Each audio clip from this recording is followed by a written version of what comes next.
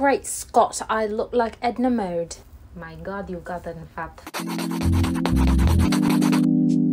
Hello YouTube and welcome back to another video. I am so excited for today's video because it is in collaboration with Nani here on YouTube. If you don't know, Nani is a screenwriter, filmmaker here on YouTube and we have recently become mutual and decided to do a little collaboration for you guys because we thought it would be fun. Basically, I'm going to be answering five to seven questions today that Nani has for me about screenwriting and filmmaking and I also asked her five to seven questions as well so she's going to be answering them over on her channel. So after you watch this video, make sure you check out her video, which will be linked in the description box below. Give her a lot of love and subscribe to her. She also wanted to say hi to you guys as well, so let's take a look at what Nani has to say. Hi Sabrina, thank you so much for doing this collaboration with me. This is going to be exciting. I've been also watching your content for a while now, and then seeing you keep learning, writing, producing, and putting out more short films, you inspired me to create even more and staying creative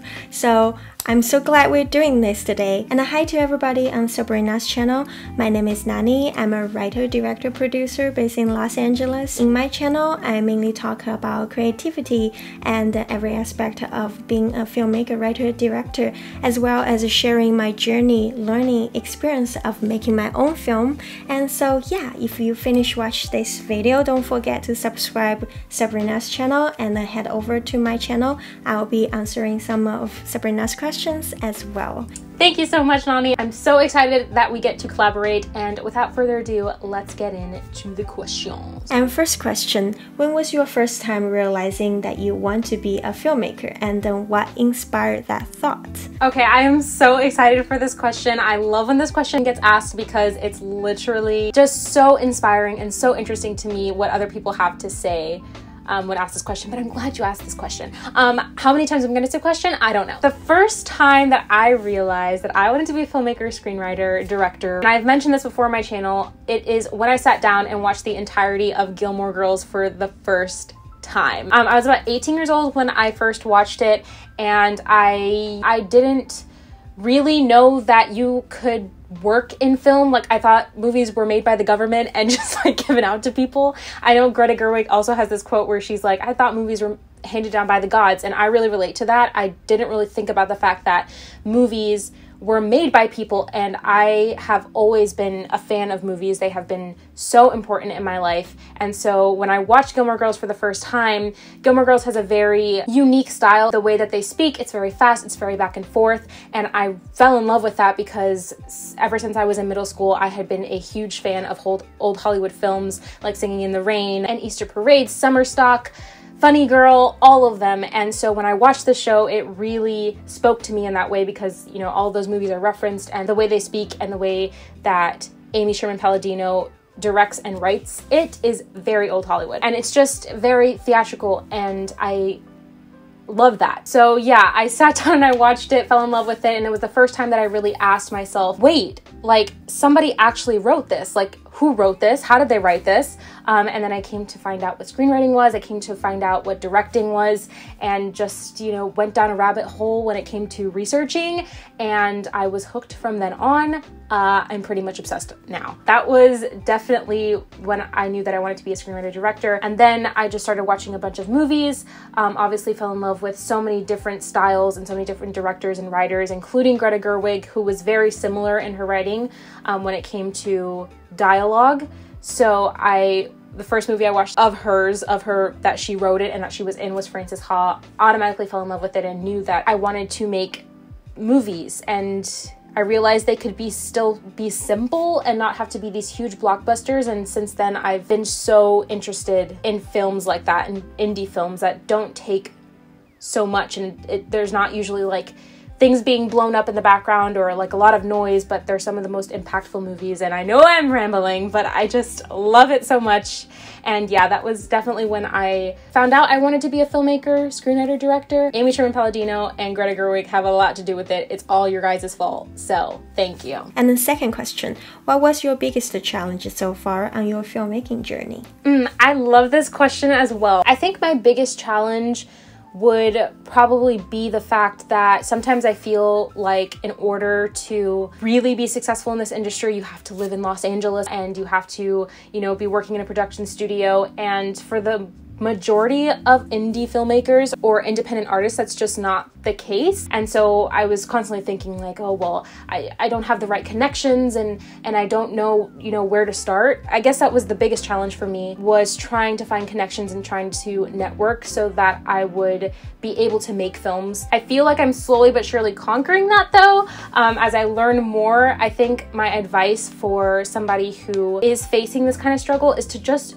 do what you can with the materials that you have. And, you know, the internet is such a huge tool, and I've been using that as well to kind of conquer that fear of networking and connecting and realizing that it's not so scary when you do put yourself out there. Um, so, yeah, I guess that's the biggest challenge so far that I faced when it comes to filmmaking but it's definitely going in the right direction, so very happy about that. And the third question Do you have a favorite position amongst writing, directing, producing, filming, and acting? And why? Oh my gosh, all your questions are so good. I love this question. It's so hard because I love all of them so much. Um, I I guess I would say that I really really love screenwriting just because of the process of it. Um, just getting to come up with an idea and come up with a story and really just write that down and see it come to life on paper. Um, but I also really love directing, and I think recently I've become I've fallen more in love even with acting. It's not something that I've practiced my whole entire life, but it is something that I'm becoming more passionate about, and I'm really excited about that. So I think between screenwriting and acting,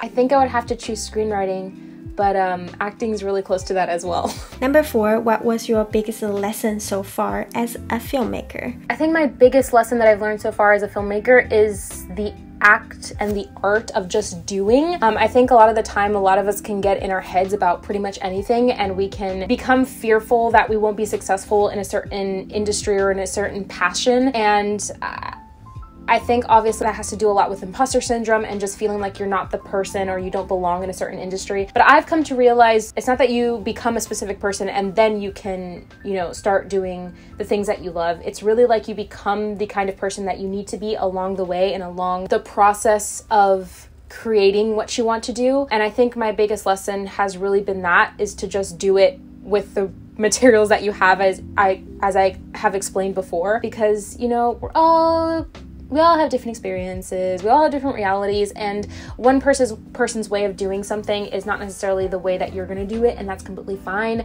You a lot of the times reach the same destination anyways. That's my biggest take from filmmaking and life is to just jump in and do something. And if your approach to doing that thing is just to learn it, you're never really to fail. There's no such thing as failure when you're just trying to learn something. And in that learning process, you become a genius at it and you become so good at that thing. And that's how people, you know, become confident in their industry or passion. And that's something that I guess I've taken away from that. And I know I'm literally going into being a philosophical Aristotle person right now, but that's what I've taken away. And then number five, what advice would you give to the younger you? I love this question too. Um, I am such an advocate for being in tune with your inner self or your inner child. Um, I think losing your inner child is so detrimental to your development as a human being and growing up as a person. I think the advice that I would give to my younger self is to just continue to be yourself, continue to love what you love and do what you do. And I think I would tell my younger self to not stress so much about being the perfect person or doing the perfect thing and to just continue to be yourself because I know in my life I really went through a phase. I mean, not to be like all therapist on you guys, but like I know I, for a chunk of my life, I kind of suppressed the things that I was and it kind of made me really sad and anxious. And it's not something that I would recommend to anybody. Um, I think that you should just be 100% yourself no matter what.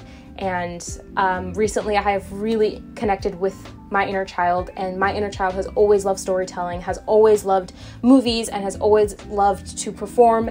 And that has made me the happiest when I'm doing the things that I know that my inner child has always wanted to do. So, yeah, Thanks for coming to my therapy session. And number six, who is your favorite screenwriter and filmmaker? I know you guys know this because I'm absolutely in love with her. I just would love to sit down to, and speak with her over dinner and also be her best friend. And like, I it's Greta Gerwig. It's Greta Gerwig, okay? I, like I explained before, she's the one who really got me into want, wanting to write movies. When I first watched Gilmore Girls, I thought it was that I wanted to be a television writer, which I'm not opposed to at all. Like, I would love to be a television writer. But when I saw that when you, you can incorporate such creativity into such a simplistic form, like she did with, you know, Frances Ha and even Lady Bird and Little Women, these are Lady Bird and Little Women are definitely bigger blockbusters, but there's just something so simple about it and there's something so lovely about it. Um,